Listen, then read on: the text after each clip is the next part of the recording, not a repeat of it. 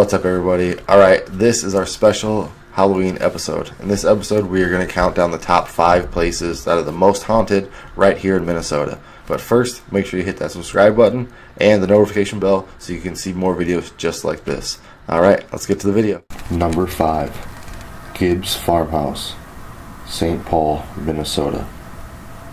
In 1867, the Gibbs farmhouse caught on fire. They ended up saving the farm, but nine year old Willie Gibbs died of smoke inhalation soon afterwards.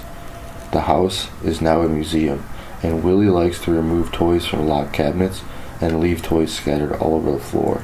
He opens and closes doors and makes a bunch of noise in the upstairs rocking chair. People have also claimed to see his face looking at them through the windows as they walk by. Number 4 Palmer House Hotel, Sauk Centre, Minnesota. Palmer House Hotel has been known as one of the most haunted places in Minnesota. Paranormal activities have been reported as far back as 1950. The people have claimed to see a small boy, a bouncing ball down the stairs, and hearing voices. There have been reports that a famous author, Sinclair Lewis, may also be haunting the building. Number 3 Wabasha Street Caves, St. Paul, Minnesota. During the Prohibition era, these caves were said to host a number of famous figures such as Ma Baker and John Dillinger. Rumor has it that three gangsters were murdered in the back room and buried under the cement floors. The owner has said he sees the three men in 20 styles attire as well as a strange mist floating through the halls. Also, reports of a ghostly bartender who is said to refill empty wine glasses. A woman by the name of Nina Clifford is said to appear at times wearing a dress. Number 2. Minneapolis City Hall, Minneapolis, Minnesota. In 1889, a man by the name of John Moshik was the last man to be executed in Minnesota. This is remembered not only being the last person executed there, but because it took three minutes for him to die.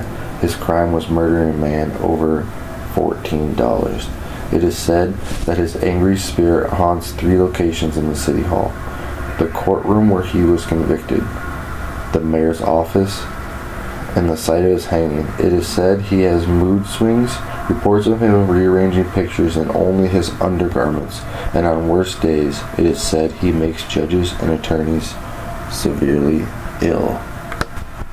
Alright, guys, before we get to that number one spot, make sure you hit the subscribe button and that notification button for more great videos just like this. Also, check us out on Facebook and Instagram at Prodigy and Company. Number one, Gray Cloud Island, Washington County, Minnesota. Gray Cloud Island has the highest concentration of Native American burial mounds of anywhere in the United States.